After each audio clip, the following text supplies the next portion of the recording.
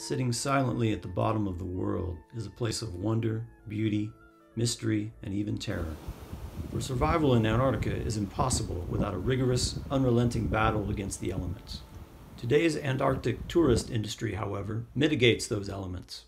We can now visit the continent in style and comfort and even enjoy limited outdoor excursions into this vast, pristine wilderness. I went on one of these adventure tours in 2018. In this presentation, I will discuss why I went there, how I got there, what activities I participated in, and I will give five recommendations to those considering an Antarctic tour.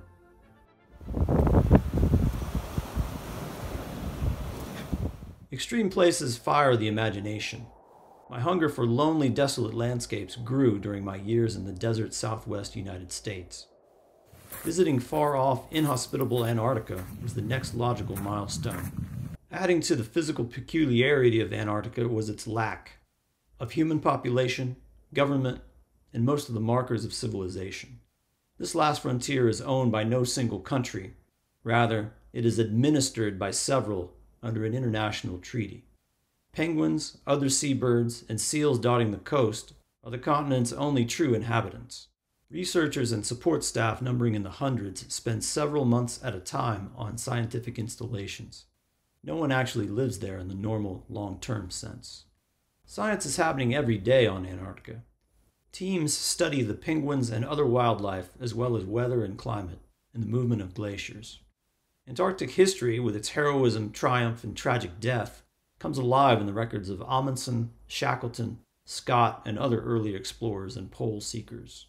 The harshness of the landscape feeds the myth and lore of Antarctica. Within the fiction category, Edgar Allan Poe and H.P. Lovecraft, among others, wrote darkly fantastical tales set in Antarctica, and the Hollow Earth legend, UFOs, and conspiracy theories haunt the seventh continent like a ghost in an old mansion.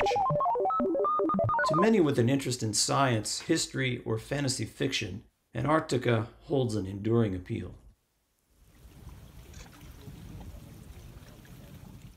I flew nonstop from the United States to Argentina, staying one night at a five star Buenos Aires hotel in an upscale district called Recoleta. There was no choice of hotel, all tour members stayed here. I did sightseeing for a few hours. The city center was an easy walk from the hotel. The next day, I flew with the tour group to Ushuaia, nicknamed the End of the World, where the cruise ships embark for the Antarctic Peninsula. The Ocean Endeavour carries 199 passengers. It has an ice strengthened hull, but it is not an icebreaker ship. It features a pool, his and hers saunas, fitness center, and spa and yoga classes. The optional activities on this tour included mountaineering, which could be either climbing or cross country skiing, sea kayaking, and stand up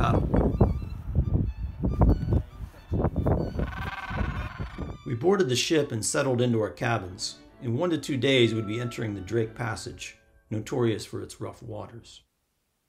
We spent days at sea before and after Antarctica. Experts delivered lectures on several topics, including photography, climate, penguins and other birds, seals, and the history of Antarctic exploration. These diversions enlivened the long days of cruising. When we reached the Antarctic Peninsula, taking photos from the deck became a much enjoyed pastime. With our first embarkation stop in sight, we were ready to step onto the soil of Antarctica.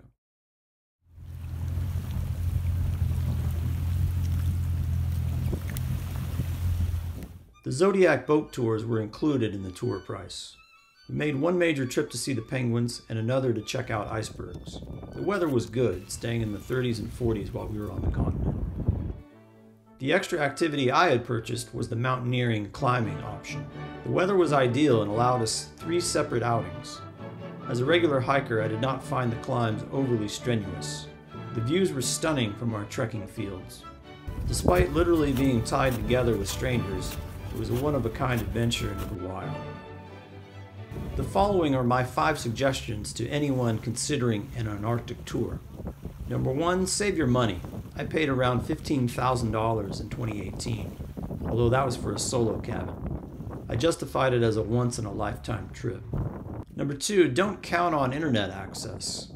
I resigned myself to going without internet on the tour. Access was available for a fee, but I heard it was rather slow. Number three, expect seasickness.